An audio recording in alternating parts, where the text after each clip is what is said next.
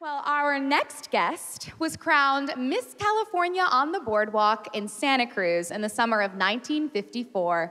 At just 19 years old, she had no idea that that day marked the beginning of a lifelong success in the spotlight. Whether you know her best as Catwoman, Lily Munster, Betty Jones, or simply as Lee, one thing is for certain it all started on the boardwalk in 1954.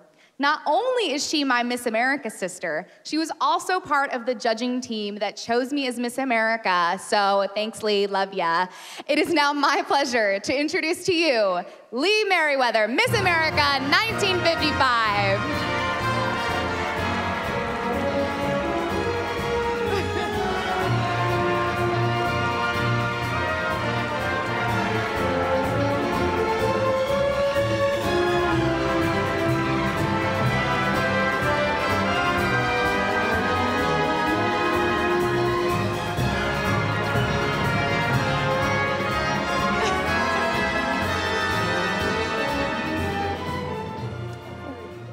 That's very sweet. Well, Lee, everybody loves you, so obviously. Well, that's no, it's very nice. It's it's warm and, and pleasant and, and wonderful. Thank you. Of course. Well, so we had a little chat last night, and we missed a few things I wanted to talk about. One of them, in particular, we all want to hear about your Catwoman costume. Every, everything.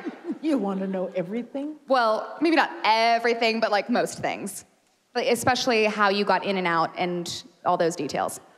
Well, you see how shiny it is? well, there were metal uh, fabric uh, threads throughout that material. And when we worked outside, I got a third degree burn up here and here. it's wonderful. Oh, yes. Oh, yeah. And, and it was so easy to work in. She's a pro. I couldn't drink much water during the day. Guess why? and it, and it, the zipper was, you know, back. Oh, well, it's just it was not it was not comfortable. But I must say that that working with Burgess Meredith and Cesar Romero and Frank Gorshin um, was a joy and they took my mind off my costume. okay. All right. well, I'm sure.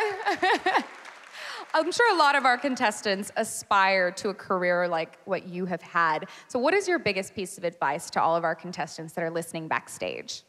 Uh, well, all of them are so gifted, and, and I hope that they do continue on in, in their, their realm of, of expertise. They are all so so talented.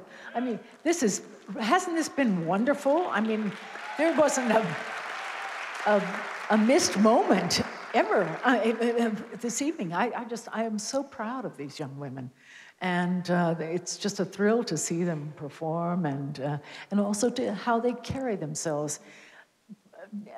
Coming out in a swimsuit, you know, and, and, and standing and posing and, and uh, it's not easy.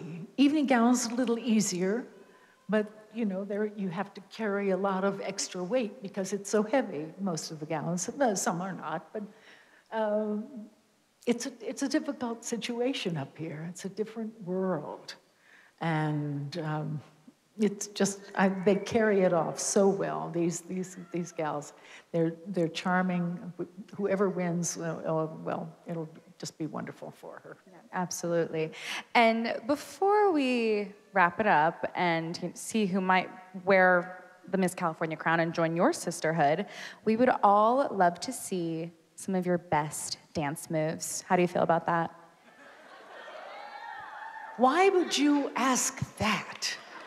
Lee, we, we talked about this backstage. You said you were okay with this. All right, yeah, sure. Always a pro. But I need, I need music. Can we have music? Pretty please. Good. They don't have any music. I don't have to. Anything? Maybe. Maybe. The women. No, we're no dabbing here, okay, everyone. No.